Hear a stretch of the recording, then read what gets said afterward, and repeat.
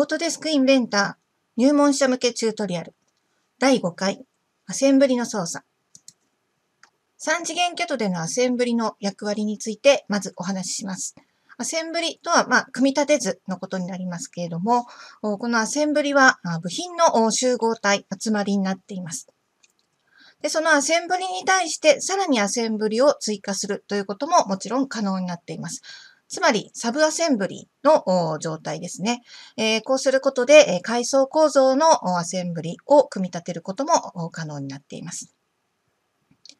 で、アセンブリの中では、部品同士の組み立て位置、それからどのような状態で組み立っているのかということを指定して、その組み立ての機能を表現していきます。また、できることとしては、アセンブリ全体の重量や重心の計測が可能になっています。それから、部品同士に干渉がないか、干渉のチェックを行うこともできます。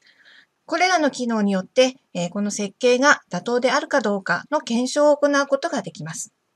そして、アセンブリの作業環境内で、それぞれの部品個別の修正作業をすることも可能です。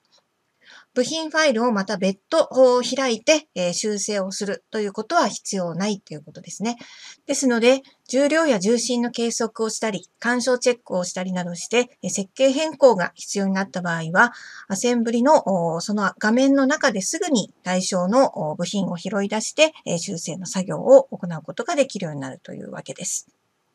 この点が非常に便利な点になります。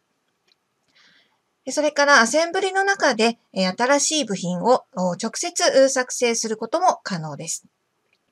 アセンブリの仕組み、こちらに図で示しています。トップアセンブリがあって、そこにサブアセンブリですとか、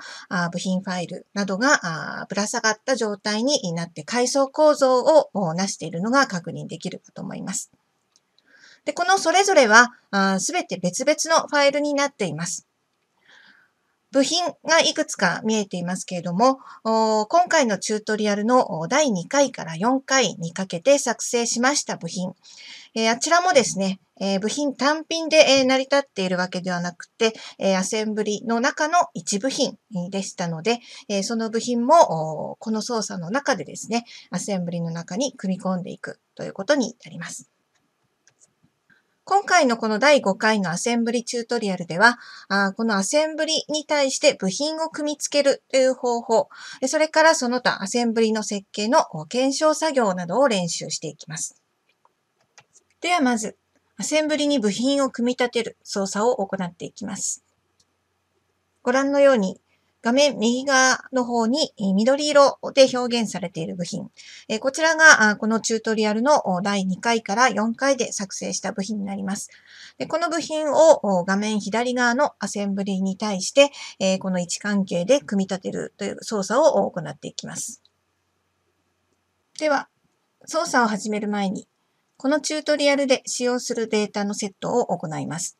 インベンターを起動していただいたら、リボンのプロジェクト、こちらをクリックします。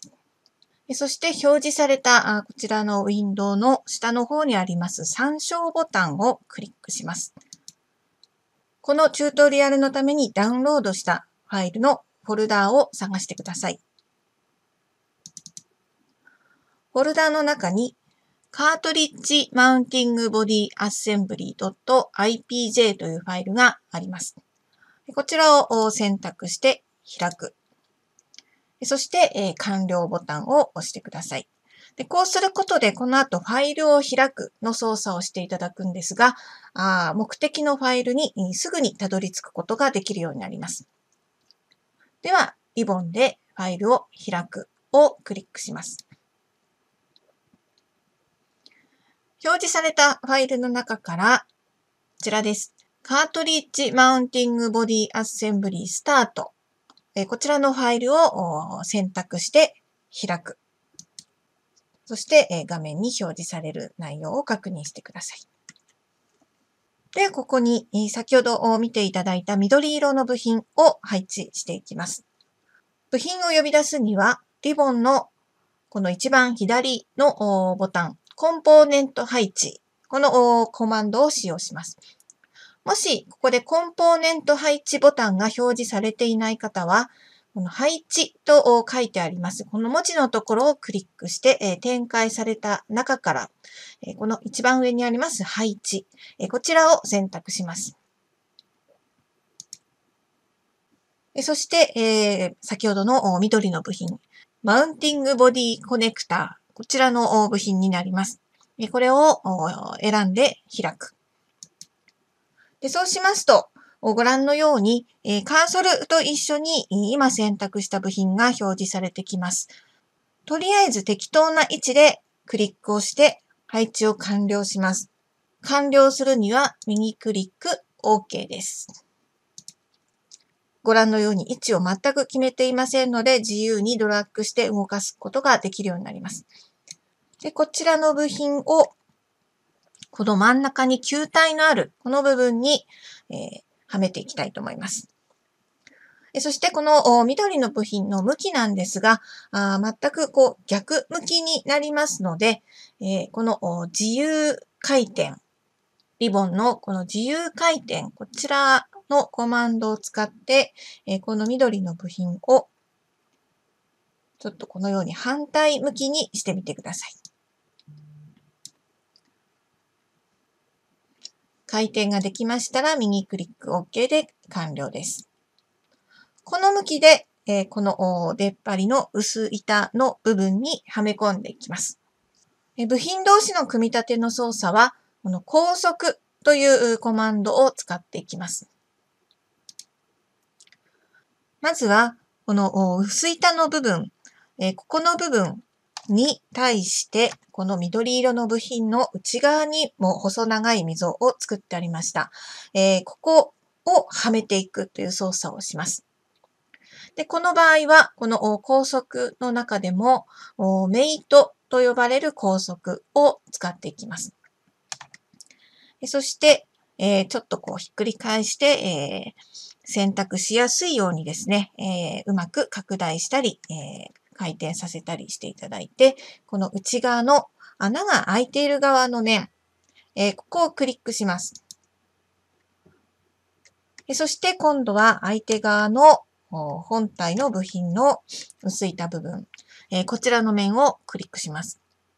この2つの平面をそれぞれクリックすることで、えー、今選んだ2つの面同士が向かい合ってくっついたっていう状態になります。で、これで、えー、今あ、ちょっと傾いてしまっていますが、あこれはこの後、別の操作でまた整えていきます。一旦これで適用ボタンをクリックします。続けて、えー、今度は、あこのベースの部品の今ハイライトさせている面、えー、こちらの面と、それから緑色の部品のこちらの底面、ここを同じように向かい合わせてくっつけるという状態にしていきたいと思います。ということで続けて、この底面、それから、こちらのベースの部品の上面、クリックします。で、これで、えー、それぞれくっついた状態になります。ちょっとこの時点で、えー、今どういう状況かを確認します。では、上、をクリックして正面から見てみます。で、そうしますとですね、あちょっと一回キャンセルボタンで、え高速コマンドは終了します。そうしますと、面同士くっつけたので上下方向には動きません。ただし、左右方向はまだ位置を決めていないのでご覧のように自由に動きます。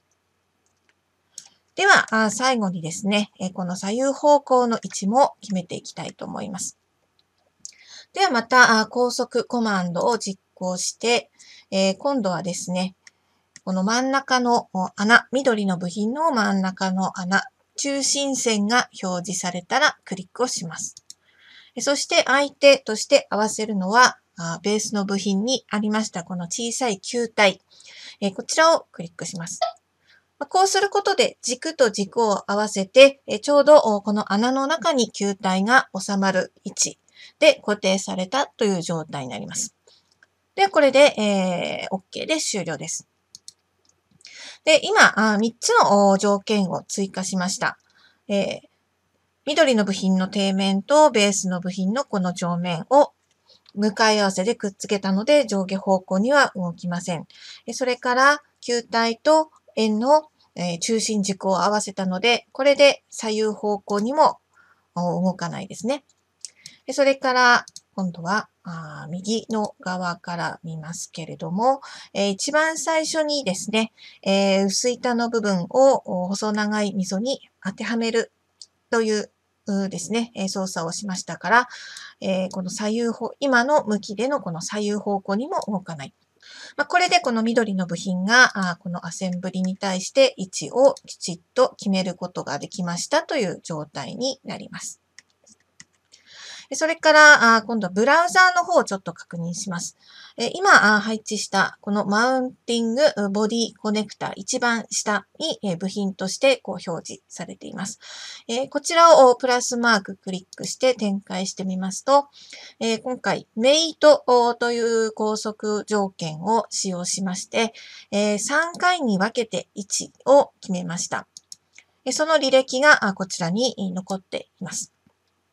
で、それぞれこうクリックしますと、横に0ミリ、0ミリ、0ミリと表示されます。この高速のメイトは今やっていただきましたように、えー、平面を2つ向かい合わせて、えー、くっつけるという動作になるんですが、この0ミリ、えー、ここの部分に、え数値を入力して、え隙間を空けて合わせるという操作もできるようになっています。今回は特に隙間は必要ないので、このままの操作でいきたいと思います。では次に、もう一つ、この右側の図にあります青い部品ですね。このレバー状の部品、これを組み立てる操作を行っていきます。でこちらは第6回の方で引き続き行ってまいります。続けて第6回をご覧ください。